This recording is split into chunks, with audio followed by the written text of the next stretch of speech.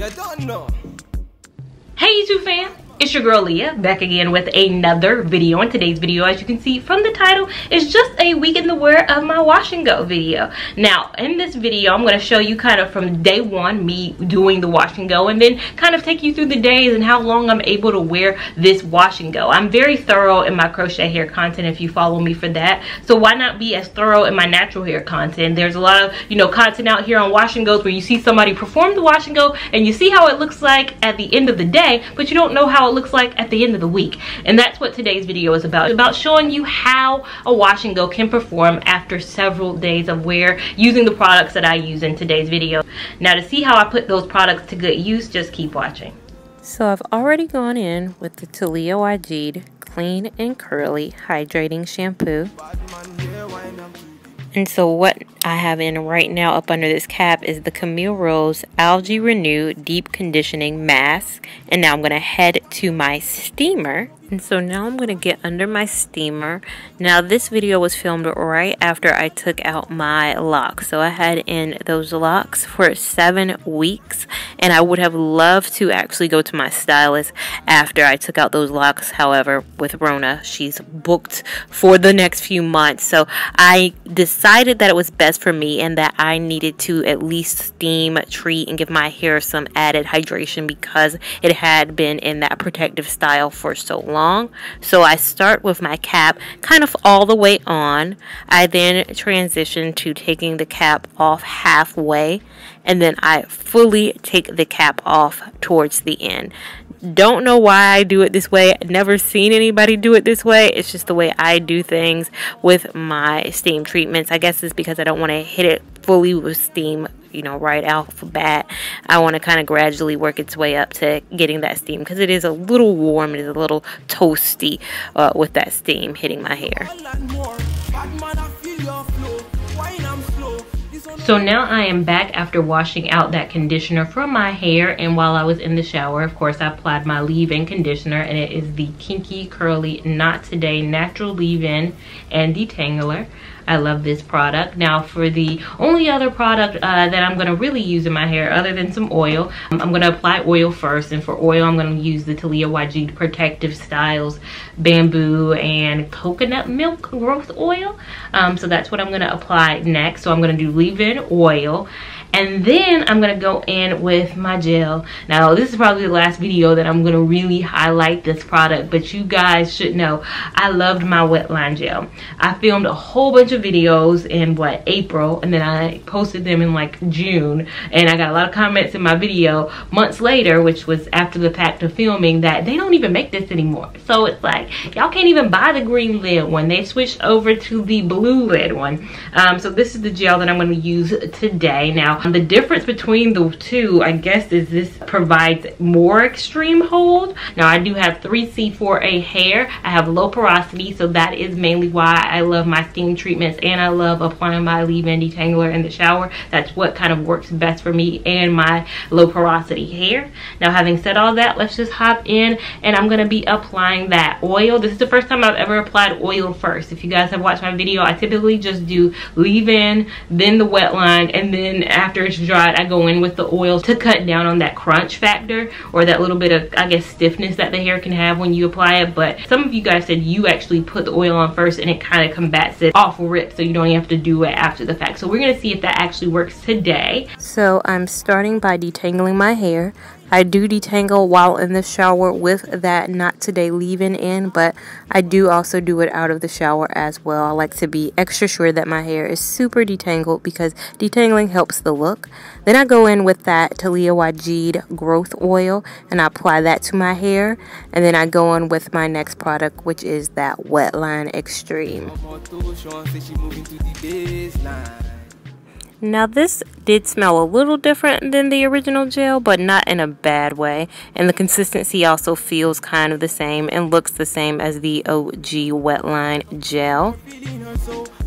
Now, you all who follow me know I like to do the shingling method. So, after I apply that gel, I go in and shingle my hair. And what that just involves is wrapping the hair around my finger.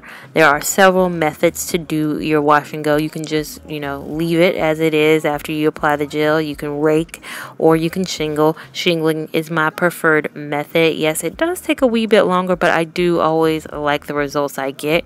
In the future, I would love to showcase a wash and go where I don't shingle just to see the differences between the two.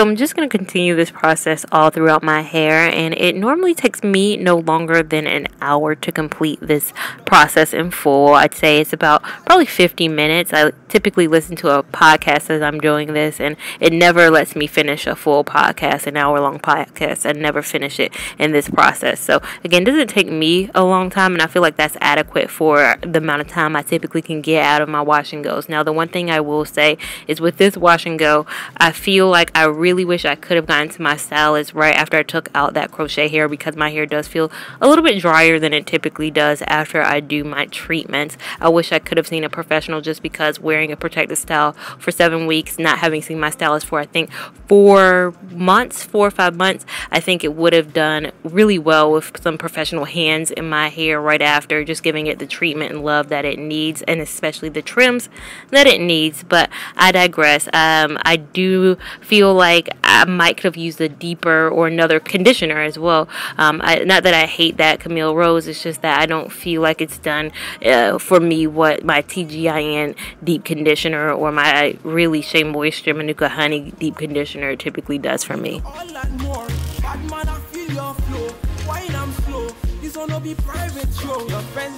So after I get done finishing up, I then part my hair in the way I want it to fall. It's important to do this step while wet because you do want it to dry the way you are going to actually intend on wearing it, although it can be switched up after the fact. And you will notice that as I wear this style, I don't wear it in the same left side part that I typically always do. And while I do that, or after I do that, I go in and scrunch my hair up. I don't use a diffuser, I don't use a hand blow dryer, don't sit under a dryer. I do let my hair air dry, especially with it being, you know, summer, super hot. It can pretty much air dry within the same day. So that is what I'm going to do. So now I am back. It is about I'd say eight hours later and my hair is completely dry and this is what it is looking like. I'll have to say, I don't know how I feel about this wash and go. Now, again, up in camera, this is what it's looking like. This is kind of my curl definition here. The sides, I tucked it behind my ear because this side I just don't like that. I don't know. You guys, if you watch my most recent wash and go, I'll link it up above. I really liked it and I like the progression of it from day one to day five. And I'm going to do the same thing in this video. But I think already on day one, it's looking like how it looked at day three in that video.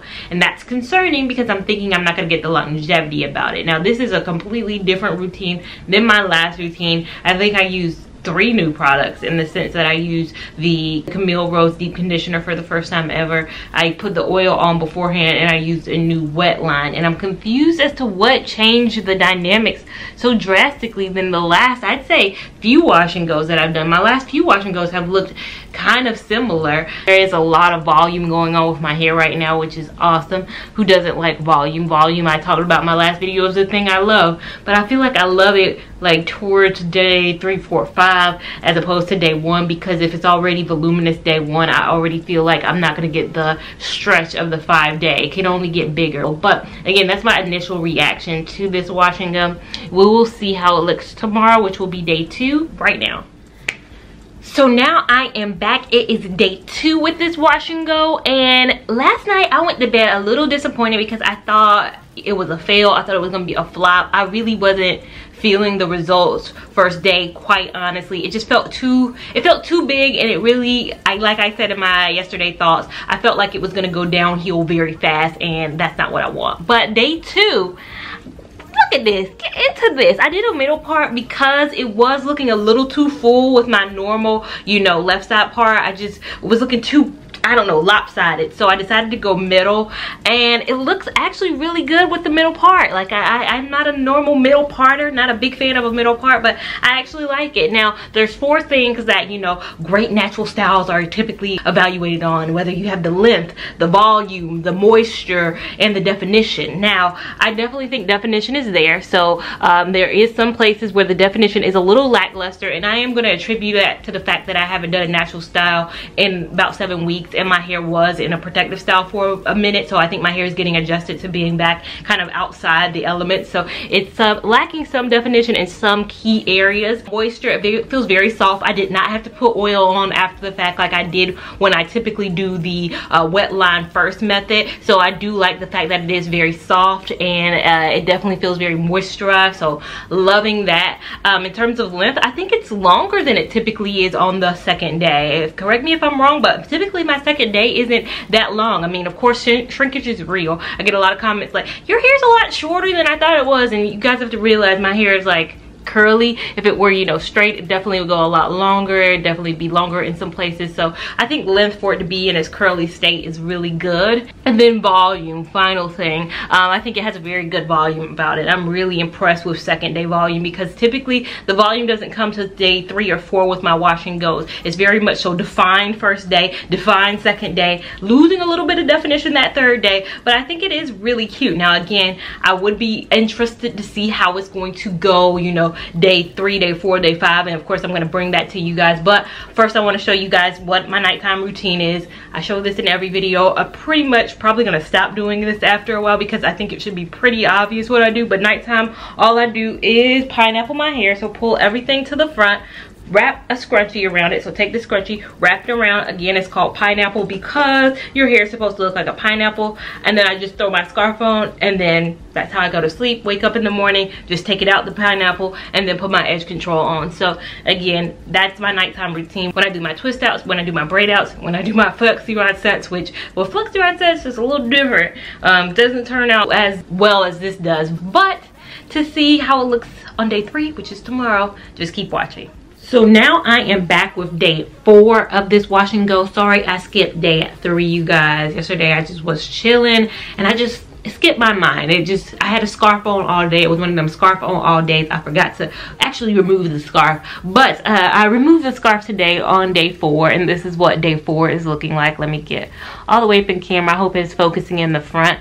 If you can notice, a lot of the definition is gone which i'm sad about. But if you notice also i've been liking it in this fro kind of style as well. Like normally i like a left side part i like a parted style. But i just been going for i just been going for a free form kind of a look with this look and i kind of like it. The back still has you know quite a bit of definition. I'll definitely say that. The back area and the length of it and the volume of it is kind of there. But i'll show you guys how it looks on its final day which will be tomorrow which will be day five right now Woo child. So now coming on here uh, for my final day with this hair or with, I always say this hair in these videos like this is not my real hair. Uh, I'm so used to crochet hair reviews. This is how it looks day five. I, of course, don't like it. It looks big and um, very bushy at this point. It's not uniform. It doesn't have the definition, has the volume. Uh, but uh, yeah, I'm to say this might have been a fail. But I will say that second day, it looks so good though. It looks so good that second day. And now it's just like a big mess.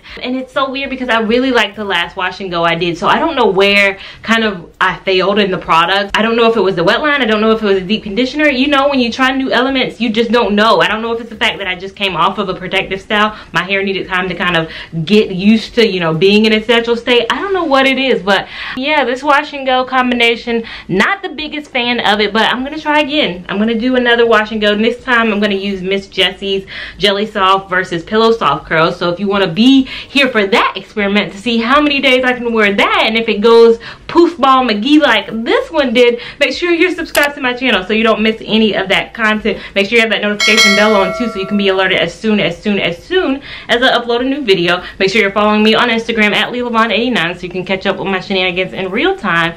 And I will see you in my next video. Thank you so much for watching. Bye. Said I'm in love